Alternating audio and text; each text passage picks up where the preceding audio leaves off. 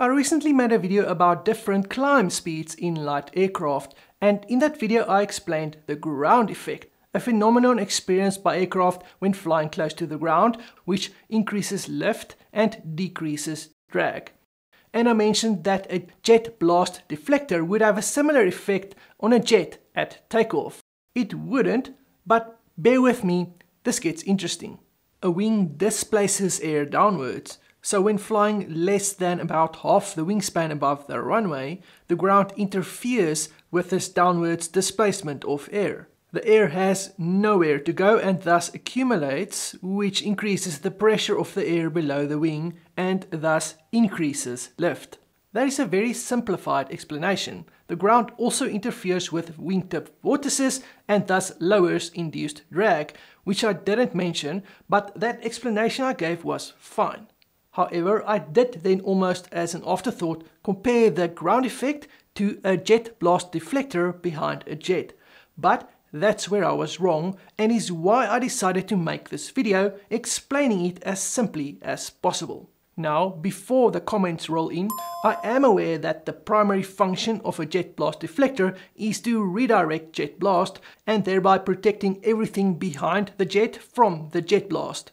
The same goes for jet blast deflectors used on land airports. However, by obstructing airflow behind the turbojet, with the expelled air pushing against the solid object, my argument was that this resulted in a slight increase in thrust similar to a wing in ground effect. But this is wrong for very interesting reasons, which I shall explain. I'm not going very deep into how a turbojet or low bypass turbofan engine works, but going more into the physics of how it creates thrust and why a jet blast deflector behind a turbojet doesn't increase that thrust but decreases it. In short, a turbojet works by taking in air, compressing that air, then mixing fuel in with that compressed air.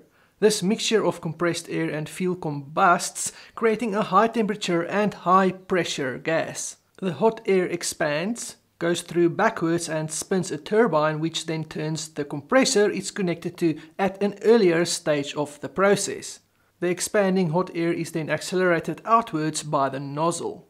When the exit velocity of air is greater than the free stream air the plane is in, thrust is created and thrust pushes the plane forward.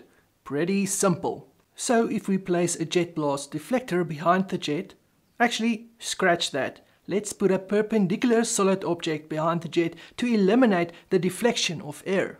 Why does this interference not create a high pressure cushion like the downwards displaced air from an airplane's wing close to the ground does? The answer lies mostly in the different velocities of the displaced air in these two examples. The air displaced by a wing has relatively low downwards velocity. This allows air to accumulate before dispersing and create that high pressure cushion below the wing. In contrast, the air coming out of the exhaust of a turbojet has a much higher velocity. In the turbojet engine, the hot air arriving at the exhaust nozzle will have higher pressure than ambient due to the combustion process. However, the purpose of the exhaust nozzle is to assist in converting thermal and pressure energy into kinetic energy or in simple terms, blast air out the back as fast as possible. Adhering to Newton's third law, the higher the velocity of the air coming out the nozzle, the more thrust is created. The exhaust nozzle assists with the expansion of air which lowers the air pressure and increases velocity. It starts to make sense why a high pressure cushion doesn't materialize behind the jet in this example. In reality, the effect of placing a solid vertical object behind the jet, blocking the free flow of air, achieves almost the opposite of an airplane's wing in ground effect. The fast moving air hitting the barrier will not have time to accumulate but will disperse very quickly unlike the air below a wing in ground effect and will not create any significant high pressure cushion. In addition, by placing a barrier or jet blast deflector in the jet blast, it interferes with the expansion of air behind the turbojet engine. Due to this disruption of the expansion process, this actually decreases thrust. Since air can't fully expand and increase velocity, which is the goal of the turbojet, the engine needs to work harder to create similar levels of thrust. So with that mistake corrected, let's look at another interesting case, which is helicopters. Every chopper pilot knows that helicopters benefit from the ground effect, requiring less engine power or collective to hover when close to the ground. But helicopter rotors move air down much faster than a fixed wing airplane displaces air downwards.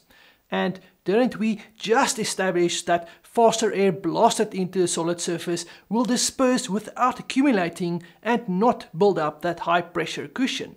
Even though a helicopter's rotors move air downwards faster than an airplane's wing in flight does, it has much lower velocity than jet blast. The downwash is slower but is a much larger mass of air and covers a much larger area than jet blast. This relatively slow moving large mass of displaced air results in the buildup of a high pressure area beneath the rotors and as we know this increases lift. Let's make it even more interesting. Would an aerobatic plane hovering on its prop close to the ground then also benefit from the ground effect? Radio control planes do this all the time, and full-size pilot-carrying planes would not do this close to the ground, but let's say it does. In this case, it will not have a pronounced effect on the plane, unlike a helicopter. But why is that? What is the difference? The difference is a helicopter's blades move slower, but moving a larger mass of air, compared to an airplane's propeller which turns faster, moving a lower mass of air, but moving it much faster. The area hitting the ground is thus much smaller and has much more room to disperse relative to the area of the propeller. While this will allow some accumulation of air, this is nowhere near as pronounced as with a helicopter. In addition, a helicopter benefits from the ground effect up to a height roughly the length of a rotor blade. For an aerobatic plane hovering close to the ground, the criteria would be similar. It needs to be roughly within the length of a propeller blade from the ground, which is impossible. Thus, a hovering aerobatic plane does not benefit from the ground effect. By the way, this would be no different if placing a vertical solid surface behind a propeller plane on takeoff. The propeller moves air too fast to massively accumulate and would not have a pronounced high pressure cushion effect behind the plane. There is another very interesting scenario which I see asked. Does a Harrier jump jet hovering close to the ground benefit from the ground effect? Since we established that jet blast is too fast to accumulate and create a high pressure cushion, surely it doesn't. But actually, it does. This is because of a few factors, first of which is the type of engine the Harrier uses, which is a medium bypass turbofan engine, as opposed to a turbojet or low bypass turbofan. The turbofan engine with a higher bypass ratio is designed to move a larger mass of air at lower velocity than the turbojet engine, which moves a lower mass of air at much higher velocity. The bypass ratio of the Harrier's Rolls-Royce Pegasus is 1. In comparison, the bypass ratio of an F-18 Hornet's General Electric F414 turbofan is 0.25. The colder bypassed air helps achieve a cooler and more distributed exhaust flow. As a result, the Harrier isn't a super fast jet, but the low velocity jet blast is a necessity to not only benefit in the ground effect, but more importantly, to be able to take off vertically without damaging a tarred surface with high velocity hot exhaust flow.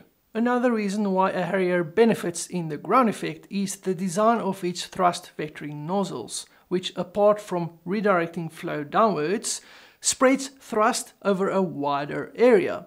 Again, primarily to avoid damaging tarred surfaces, but this inadvertently assists in creating a high pressure cushion below the jet. I hope that was half as interesting to watch as it was to research. If not, try one of these two videos. Thanks for watching See you in the next one.